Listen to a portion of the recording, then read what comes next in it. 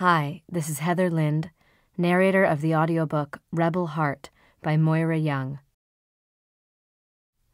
Rebel Heart is the sequel to the first book that I read called Blood Red Road by Moira Young.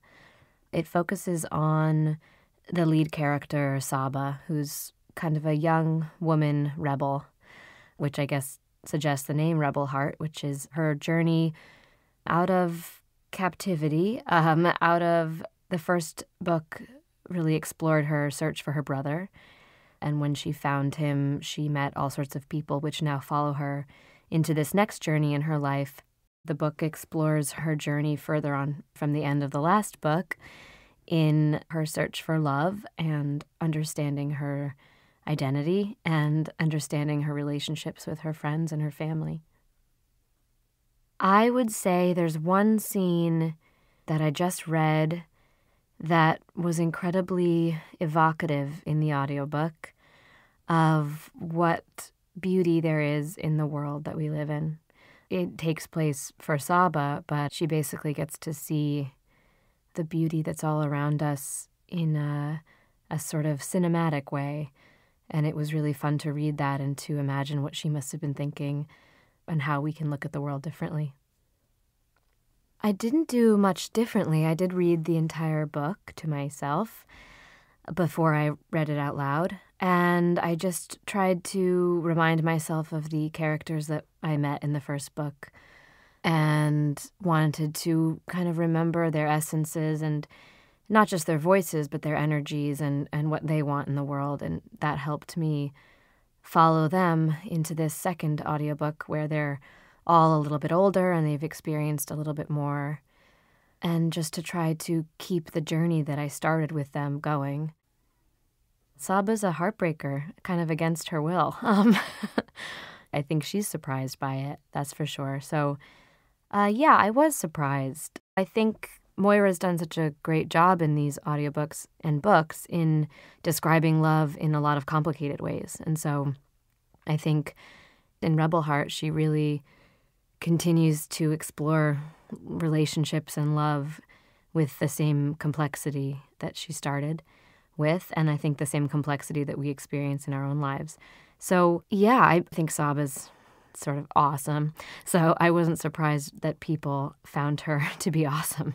But yeah, I think the heart is a mysterious thing, and I think Saba's particularly is mysterious and is mysterious to her. And so, it's really interesting and exciting to follow her through that discovery and to meet the people who are charmed by her as well.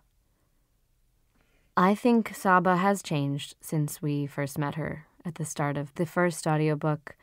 She was never really innocent to me. She had a, a naivete, she hadn't experienced as much or done as much or felt as much, I think, in the beginning of the first audiobook. And now that we've seen the things she's gone through, which have been really challenging, and some quite horrific. I think that she has aged. I think she's grown up a little bit. I think she has different expectations from the people in her life. I think she also has a great deal of hope because she's endured a lot of these amazing things and she's come out of them stronger because of it. So I think her persistence and her stubbornness and her goodness is still there, but she has a few more notches on her belt. She's looking at things in, in an older way. The recording process is really fun. It's a lot of time and a lot of time sort of alone in a little booth. Um, but I have people through the glass that are helping me and cheering me on, and that helps. It's really wonderful to get the chance to read a book this way, and the characters become really personal to me and important. You know, I'd say Saba really because that seems obvious. Um, she's the narrator of the book, and I obviously have I'm really on her side.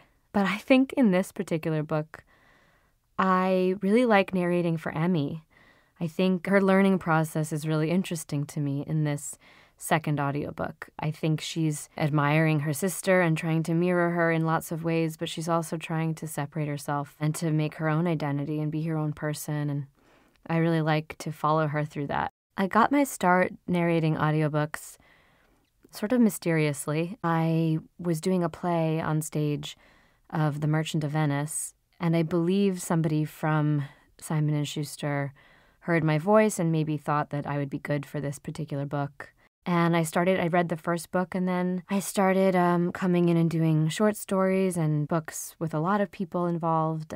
I recorded one in LA for them, and I've just been doing it a, a lot more. It's a kind of unexpected surprise in my life. I think it's a really exciting medium, especially for actors like me, because there are so many mediums for actors. I've been lucky enough to work on stage and on film and on television. And this just feels kind of like a whole other medium. It seems like it could just kind of be reading for clarity and sense and drama, but it, really feels like acting. Um, I think it's honed my skills of being able to transform my voice and get to know characters who do and say interesting things that I wouldn't say or do. And just in that way, it's been great practice. It feels kind of like a meditation or a study, which feels different to me than acting with lots of people collaborating with me. But I like it. I, I hope to do more. Música